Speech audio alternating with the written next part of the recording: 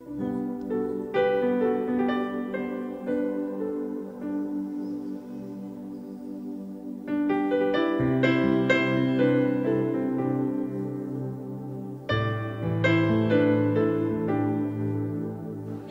Bueno amigos, aquí estamos con Ángela Andrea, que tiene un testimonio maravilloso de lo que ha sucedido en este seminario de sanación interior y liberación. Me contaba hace un momento en la entrevista antes del testimonio que tuvo una, eh, una práctica o un encuentro con esta lo que llamamos la tabla Ouija, eh, invocación de espíritus a través de la tabla Ouija. Y ella ha quedado con un tremendo problema de ataques espirituales.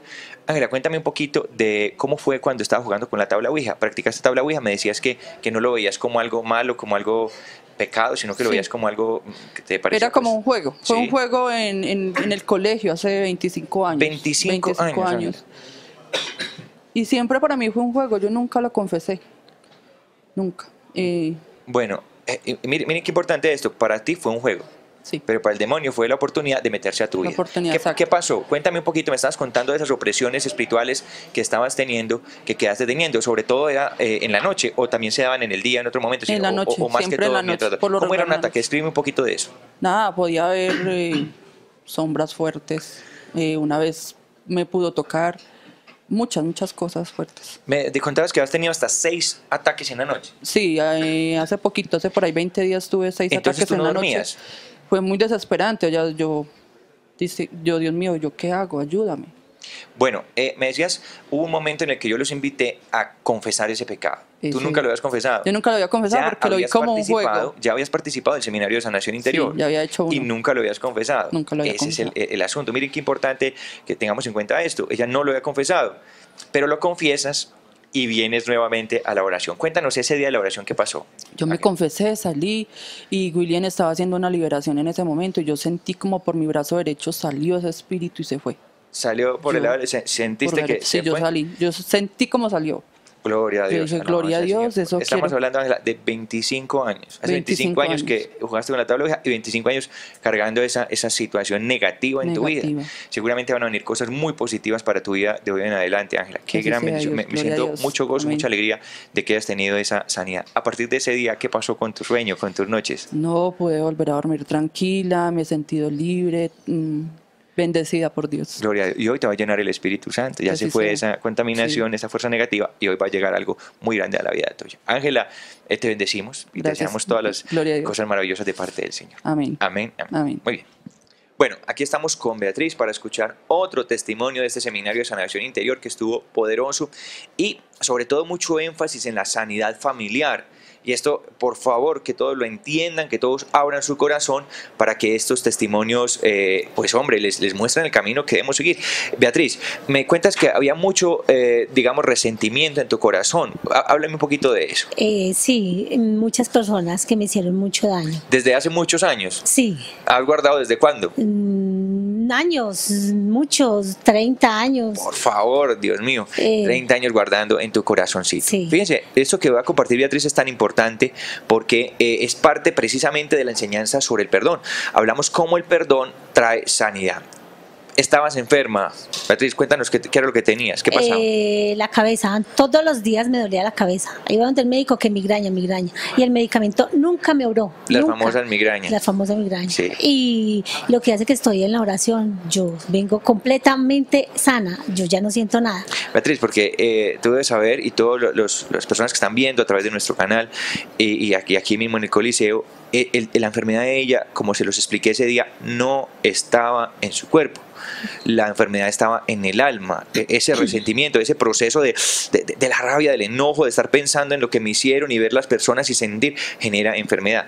¿Qué pasó entonces en la oración? Se fue la enfermedad. Se fue la enfermedad y con la oración aprendí a perdonar y a sanar mi corazón. Yo ya de esas personas las perdoné como me enseñaron en la, oración y yo ya no hablo con resentimiento de ellas, si las miro no las miro con odio. Mejor dicho, yo ya no siento odio por esas personas. Muy bien. Oye, Y las perdoné. te felicito, te felicito y me imagino que tienes alegría ahora en tu corazón. mucha, Claro, mucha alegría. Porque eso es como, como una planta de raíz amarga, como dice la Biblia, que está ahí en tu corazón, te amarga y entonces ya vas a tener mucha alegría. Te voy a dar una recomendación y para todos los que están viendo este video. Ustedes han logrado perdonar, han logrado perdonar perdonar, no puedes dejar volver a alojar esos sentimientos negativos en tu corazón, porque ya viste los beneficios del Sí. perdón. Entonces, de ahora en adelante, cuando llegue el resentimiento a tu corazón, el enemigo viene a, a querer dañarte, tú vas a decir, no, yo en el nombre de Jesús, yo me declaro libre y perdono, y vas a asumir el perdón, como se los enseñé, como una forma de vida. Amén. Amén.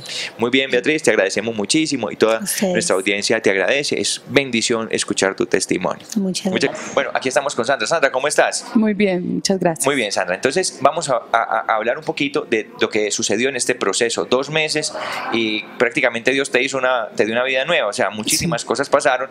Nos vamos a quedar, con, digamos, con dos eh, que nos van a servir para cubrir todo lo que es el seminario. Hablemos primero de la sanidad de tus manos. Cuéntame, ¿qué es lo que tenías en tus manos? Mis manos eran tarjadas, me salía sangre y me dolía. Ah, hasta el punto de salirte sangre. Mi familia misma lo vio, que me dolía harto y me ardía, me picaba.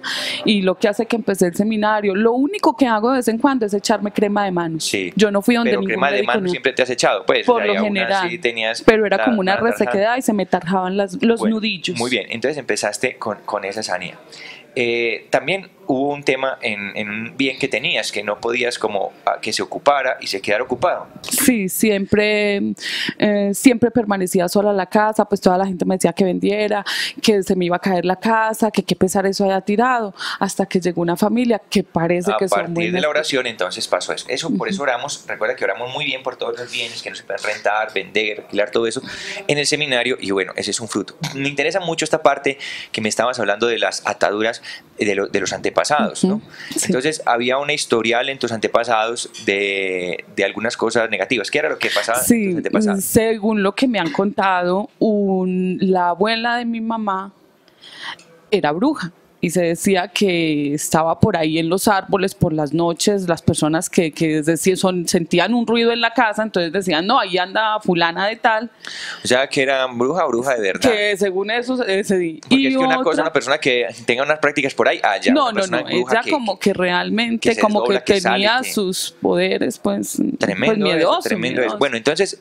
eh, tuvimos una oración para romper esas cosas y de por otra y por otra tía de mi mamá que también ella hizo cosas muy malas Sí. entonces yo pedí mucho mucho por ellas mucho porque una amiga me aconsejó que pidiera para desatar a mi familia a toda Bueno, mi familia Hubo manifestaciones de liberación ese día de la oración. muchísimo yo sentí una chuzada en el ojo izquierdo impresionante me dolía mucho me tocaba mucho y en el pie izquierdo en la parte ya en la última parte del pie junto al dedo pequeño Sí, o sea, sentías Chuzones, punzones, chuzones punzadas, claro. Había ataduras de tus antepasados ahí. Oh, gloria al Señor. En- a partir de ese día sientes diferente. Pues primero me siento muy contenta porque si las logré liberar a ellas de algo, las logré sacar, bueno, no sé, y, y mi familia que es fundamental y que en mi familia somos muchos. Bueno, muy bien. Entonces ahora sientes esa obra de Dios en tu vida, Sí, claro sientes paz, tranquilidad, Claro. dominio propio, te sientes sí. bendecida por el Señor. Y, y lo que se puede ver, que es esto. Claro, no, y estás perfectamente, tu piel está, está, sanando súper bonita, gloria al Señor. No, no tengo Seguramente nada. eso tenía que ver con esas ataduras de, de- de los antepasados. Bueno, pues ahí está, eh, a todas las personas que participaron del seminario, ahí pueden ver, y, y también los animo para que oren por esa sanidad, porque a veces uno no ora por esa sanidad, eh, esa ruptura de ataduras del pasado, y pues vea, ahí está yo no sé cuántos años. Entonces, bueno, muchas gracias, te agradezco Gracias. muchísimo, y bendiciones para todos. Continuemos.